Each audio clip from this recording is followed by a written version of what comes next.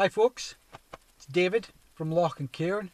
Right, I wanted to post a very quick video regarding the Loch and Cairn 100 sub giveaway, but before I do that, let me apologise for the poor light. I actually did this video outside, but the light disappeared so quickly that it was you probably wouldn't have seen me in the video, so I decided to take the video into the car where I do have a little bit of light. Anyway, back to the draw.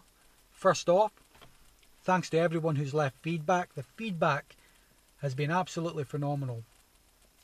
It's been way more than we expected. The quality of the information that we've received is great. And uh, to be honest, I'm really taken aback. So, again, thank you very much. We can now use that information to uh, post videos that are more useful to you guys.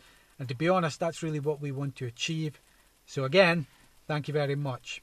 And secondly, we've decided that we're going to extend the draw to uh, until the 1st or 2nd of October. I'll put the actual date on the 100 sub giveaway webpage.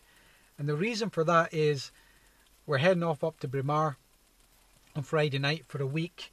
And we're going up there to do some wild camping and hiking and hopefully get some good video for the channel. And rather than rush the draw through now, which to be honest is going to be a little bit inconvenient for me. Uh, we've decided to leave the draw open. That A gives me more time, and B it also gives anyone who hasn't left feedback yet, who wants to leave feedback and enter the draw, the opportunity to do it.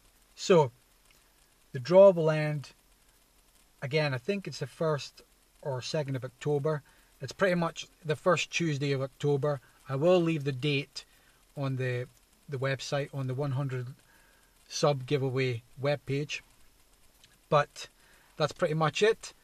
Thanks for everyone who's left feedback. And if you want to leave feedback, you still can. And until then, thanks for watching. We'll see you in October.